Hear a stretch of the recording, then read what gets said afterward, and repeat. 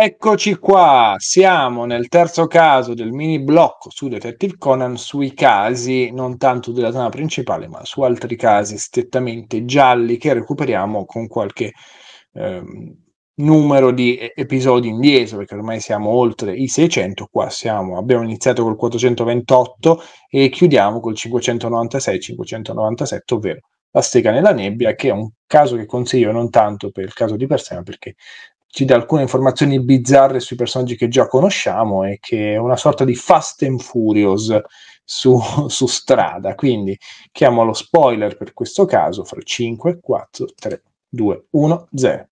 Intanto vi invito a iscrivervi perché è importante, supportatemi perché obiettivo del canale 1000 iscritti entro il 31 dicembre 2023 e io confido in voi perché voi potete aiutarmi in questo. Quindi basta un'iscrizione per rimanere aggiornati su tutti i contenuti, sia al cinema, alle ultime uscite, ma anche di piattaforme, anche anime e di qualunque cosa io voglia proporre perché penso sia interessante. Quindi andiamo, la stega nella nebbia, 500, abbiamo detto 96, 97, caso a due, due episodi per questo mistero, chiamiamolo mistero, che in realtà è un, un pretesto per fare un caso un po' più intraprendente, un po' più di action del solito. Non c'è un vero caso, stranamente non muore nessuno, stranamente perché di che cosa parla?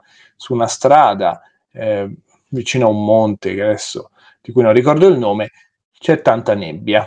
Questo è il punto. E c'è questa strada dove degli automobilisti tendono a correre, ok?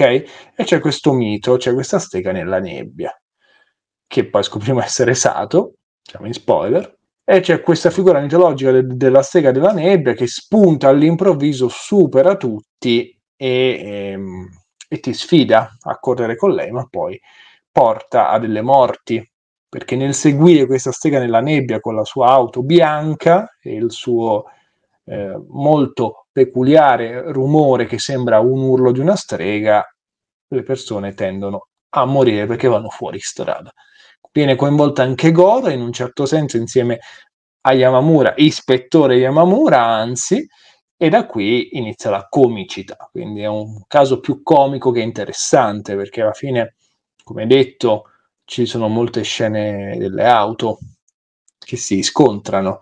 Diciamo che la cosa interessante è capire come i veri responsabili abbiano usato il mito della strega poi parliamo del movente, che è la cosa più ridicola secondo me del, dell'intero caso, eh, hanno usato il mito della strega per sfidare altri auto, au, automobilisti. In realtà la strega come di Tessato, che compare alla fine senza rendersi conto di essere la strega, no? Perché, ma come? Sato alla auto rossa e tutti dicono che invece quella della strega è bianca. Sì, perché in realtà l'ha fatta di verniciare eh, ma poi c'è l'urlo della strega che è stato che quando va in auto e, e prende le curve a grande velocità si mette a urlare. Quindi niente di che può far ridere, è simpatico, però eh, ci puoi costruire un caso sopra e mi sembra un po' eccessivo. Eh, di per sé la dinamica della canna da pesca può essere carina, è proprio un caso improvvisato così tanto per ridere, può funzionare, non è che non può funzionare, però c'è delle cose che non mi stanno bene è simpatico rispetto a Yamamura e tutto, però quando i due vengono, vengono fermati verso la fine, no? Loro riescono a scappare e Conan dice a Yamamura non hai i numeri di targa di questa auto? Fa no e non ce l'ho. Ok, gag, ma è sbagliato. Perché nella parte precedente abbiamo visto che questi erano, erano stati già fermati prima al posto di blocco. Quindi vuol dire che là qualcuno avrebbe dovuto prendere i documenti di solito, almeno anche la targa, quando si scrive la targa, per essere richiamati in seguito, quindi non ha senso. La loro fuga è davvero stupida, ma è funzionale perché Sato deve intervenire e fermarli.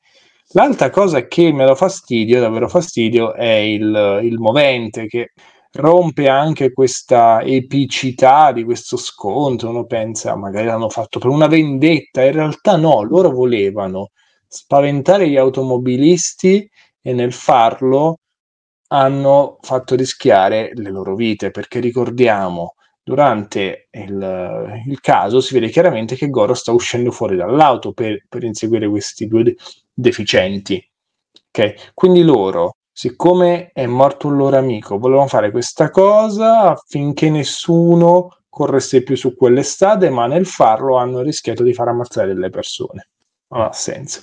Poi le care vecchie gag di eh, Goro che vuole vedere Yoko Okino Maran da buona donna di casa, costretta in casa, accende l'aspirapolvere, va benissimo, Yamamura superstar, ma Yamamura soprattutto ha una nonna superstar, grandissima nonna di Yamamura che è più intelligente di Yamamura stesso. Ah, mi è piaciuto che all'inizio della, dell'episodio Goro la prende molto sul personale, no? Una volta dice no, devo prendere questa strega della nebbia, nella nebbia. Goro ma anche meno, eh, è disperato il tocco del, della canna da pesca, come detto, carino, qua funziona in realtà, è fattibile, è fattibile perché loro poi spostano la canna da pesca che sembrano, che sembra che siano i, le luci, i fanali si chiamano, le luci dietro dell'auto e quindi tendono a girare a sinistra quando a sinistra non c'è la strada, quindi è pericolosissimo, come detto. Loro volevano salvare gli automobilisti, ma che cosa volevano salvare? Esattamente. Siete dei criminali. E basta, quindi è un caso abbastanza inutile, carini alcuni dettagli su Yamamura, sulla nonna di Yamamura, su Sato, eccetera, eccetera, però dai, tolto la comicità c'è ben poco. Voi cosa mi dite? Vi è piaciuto? Scrivetelo qua sotto. Ciao, iscrivetevi. Alla prossima.